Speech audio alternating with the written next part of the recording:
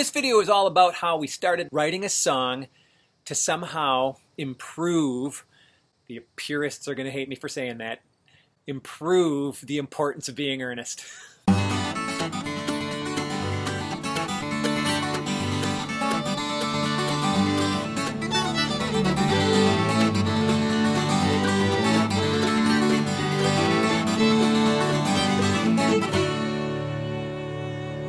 I'm a big fan of the play The Importance of Being Earnest by Oscar Wilde, and I've seen it dozens of times, and I've directed it twice.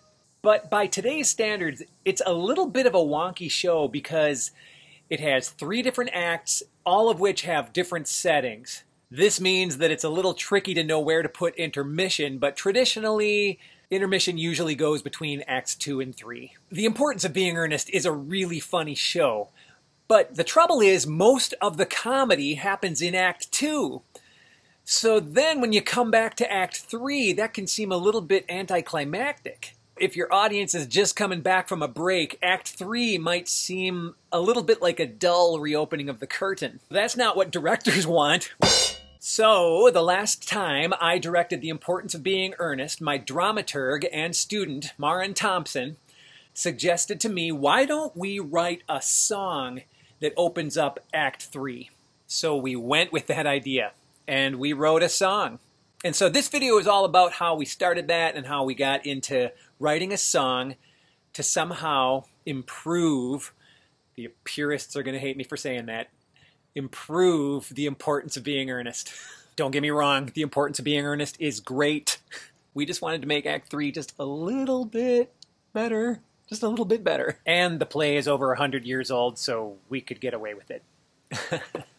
Public domain, baby. So, The Importance of Being Earnest takes place in the Victorian era, and I was very much directing it as if it were taking place in the Victorian era. I wasn't making it like a 1960s uh, or 1970s period jump. I was keeping it Victorian. So, it was very important to me to make the song feel Victorian. I have never written a song that sounds Victorian, I guess. Uh, so this was a challenge. It was time to do some research. What does a Victorian era song sound like? some of the stuff that I found was that Victorian Victorian era songs were very melodic. They had titles like I'm going to read a few here. Uh, Come Sweet Marguerite Good night, good night, beloved. Phyllis is my only joy. Many Victorian songs also made use of little uh, melodic made up words. They were sort of carryovers from English madrigal singing. Things like fa la la la la la la la la, or hey nani nani, nani nani no, or dilly dilly down, dilly dilly down, dilly dilly down down. I don't know. Also, uh, the music of Gilbert and Sullivan was huge. So if you know any melodies from Gilbert and Sullivan, like I'm called Little Buttercup, sweet little Buttercup, though I will never know why. But blah blah called buttercup, sweet little buttercup, blah blah blah buttercup I, or I am the very model of a modern major general of information, vegetable, animal, and mineral. Dooby dooby dooby dooby dooby dooby dooby doo. So I really loved the idea of those hey nani nani dilly dilly down kinds of lyrics, so I was gonna use those. And you know that song, Come On Eileen, by Dexy's Midnight Runners? Come on, Eileen. that was horrible. Tura, tura, tellurae, tura. I love that, so we were going to make use of that. So I found out that parlor instruments were really popular in the Victorian era. Things like parlor guitars, uh, even parlor banjos, so I thought the idea of parlor instruments was really right on with kind of what I wanted my concept for this song to be. Ukuleles were not used very much in the Victorian era, but they just today really do give off a parlor instrument vibe. So I thought, you know what, if we make this a ukulele song, even better. And it just so happens that I had two actors who were both guitarists and who could both pick up ukulele really quickly. So the actors that I had to play these two roles were Andrew Schuler, who played Jack, and Hans Bloedel, who happens to be my son, who played Algernon. And it just so happened that the actor who played Jack, Andrew Schuler, uh, also wanted to write down some lyrics for what he thought the song would be. And so I was able to use about 50% of those. Uh, and so let's just quick take a look at some footage of me uh, trying to work out the song because I was actually doing it in front of the computer. So here's a little bit of footage.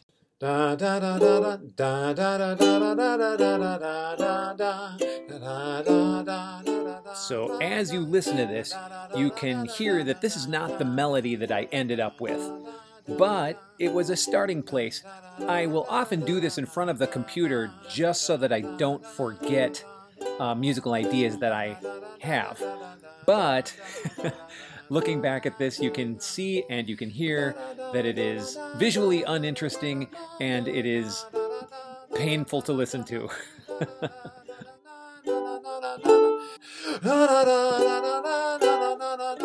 So I knew it was going to be a melodic song. I knew I wanted to employ some of those hey nani nani, talu raye non words. Uh, and I wanted it to be a ukulele song. With that, I got busy on, on trying to figure out what the song was going to be. I actually love videos like this because you can really see how rough it is at the very beginning. Uh, and then I started to refine the melody a little bit more, uh, which sounds a little bit more like this. My dearest Cecily, I love you. My heart must be a sway. And at this point, I'm able to start employing some of the lyrics that Andrew had written down. And so I've I've got a melody and I've fooling around with some of the lyrics that Andrew has, and we're starting to get something that sounds like what the song will actually be. And then both go Hey, dilly down, nonny no. Hey, dilly down, nonny no. And finally, after a lot of trial and error and a lot of practice, all the pieces for the song are really now in place. Uh, notice that while I'm videoing this, my head is not in the shot. That's because this was really a reference for me. I wanted to make sure that I had the camera on the ukulele so that if I ever looked back at this, I could see what I was playing. Uh, so kind of an awkward video with me just sort of cut off at the eyeballs. But uh, again, this is uh, more for me, and I never knew I was going to be making a video out of this in the first place. We are engaged, it says so in your diary. Too bad your engagement is a made up story.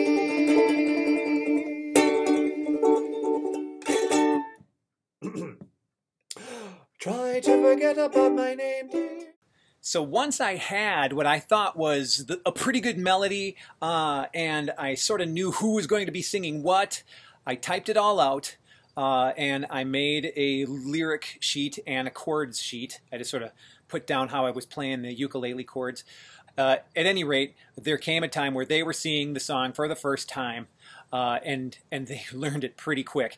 Uh, and so here's a little bit of footage of them uh, working out the song on stage for the first time.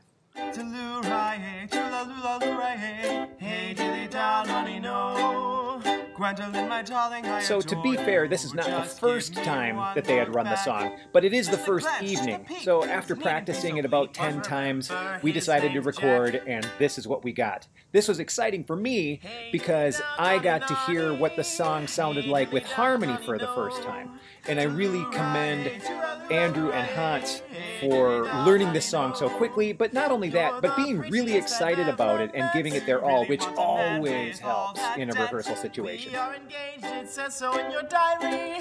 bad your engagement was a made up story.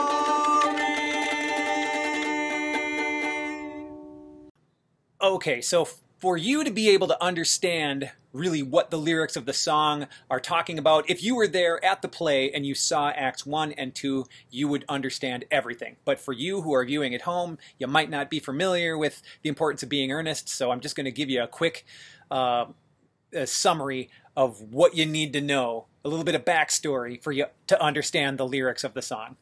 So, this is Jack. He uses the fake name of Ernest when he wants to act irresponsibly. That way, none of his important friends will know. It also just so happens that he doesn't know the origin of his own birth, because as a baby, he was found in a handbag in Victoria Station. Jack is the guardian of Cecily. Cecily only knows Ernest as Jack's absent, black sheep younger brother, but she falls in love with the idea of Ernest. Jack is in love with Gwendolyn, who only really loves him because his name is Ernest. She just loves the name Ernest. And remember, his name isn't really Ernest, it's Jack. This is Algernon. When he finds out that his friend Jack has an excessively pretty young ward named Cecily, he sneakily goes to the country to meet her, posing as Jack's black sheep brother Ernest. He quickly learns that Cecily has been dreaming of marrying Ernest, and in her mind they are already engaged. She has even written about it in her diary. The two fall quickly in love, However, Cecily reveals that it has always been a girlish dream of hers to fall in love with someone named Ernest. So, both Gwendolyn and Cecily want to be in love with someone named Ernest, and both Algernon and Jack are lying, pretending that their names are Ernest when they are not. So, right before intermission, the deception of these two gentlemen is revealed to both of the ladies. It's hilarious. And now the men need to make amends with their loves which sets us up for the song at the beginning of Act 3. Let us maintain a dignified silence. Certainly. It is the only thing to do now.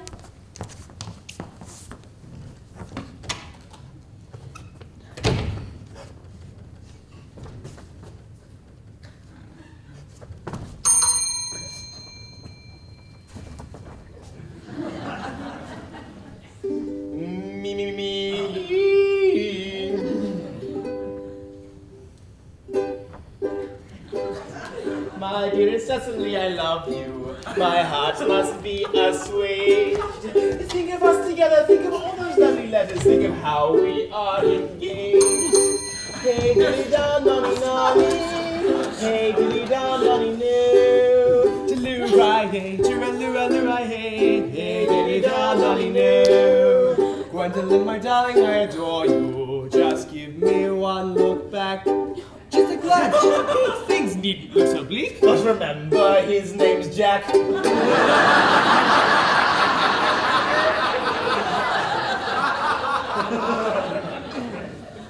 hey, dilly da, nonny, nonny. Hey, dilly da, nonny, no. Talloo-ra, hey, chura-loo-ra-loo-ra, hey. Hey, dilly da, nonny, no.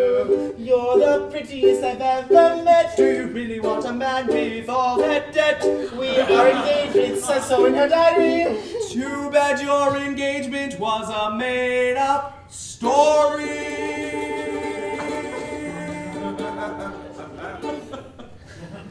Try to forget about my name, dear. Though I don't wish to brag, I'd be an ideal husband. But remember how his first house was an old handbag.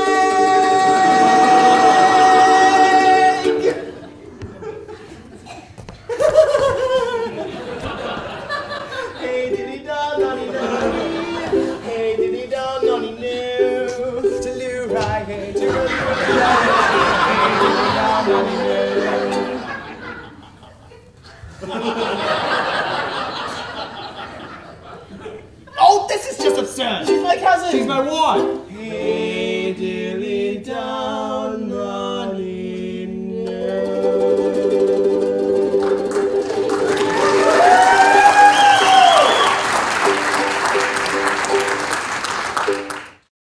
That's the song that we ended up with.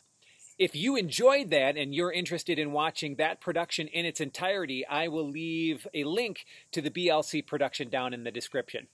Uh, otherwise, you guys, uh, this is It's a Creative Life, and on this channel, we try to do creative content every week. And if you like this stuff, why don't you consider subscribing? Until next time, you guys, thanks for watching. Bye bye.